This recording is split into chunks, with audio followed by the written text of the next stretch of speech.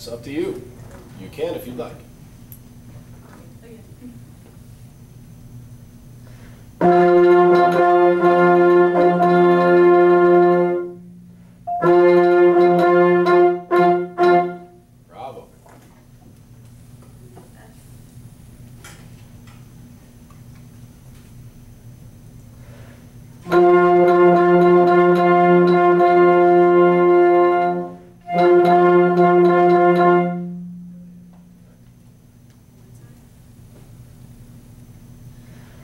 Any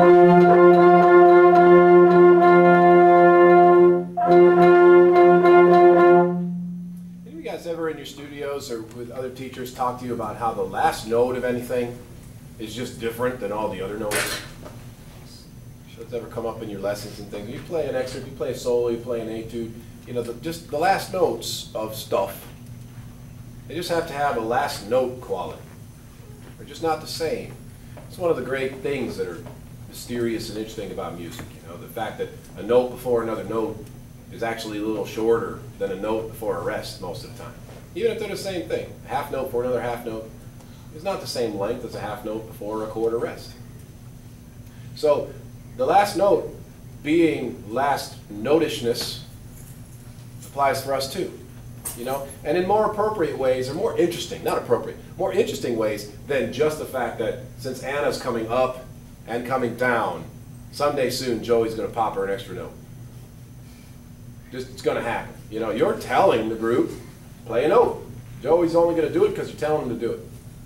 But then there's also just the fact that, in a much more interesting way, that's the end.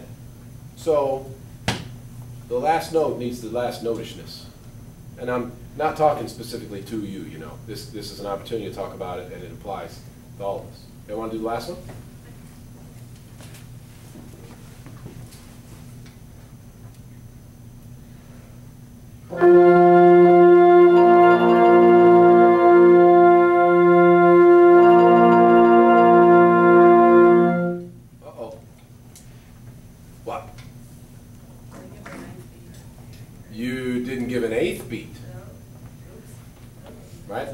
Elusive number four.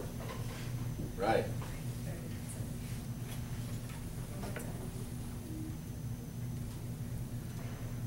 Anna,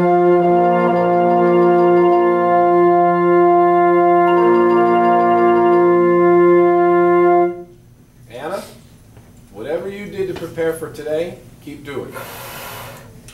Great. Great, great improvement from last week. Thank you.